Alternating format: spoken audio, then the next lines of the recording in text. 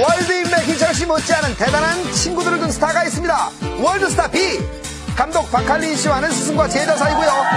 트랜스포머 감독 마이클 베이와 인연이 있습니다. I'm sorry, but it's over. 할리우드 배우 겸 예, 가수죠 타이리스와 연락하는 사이입니다.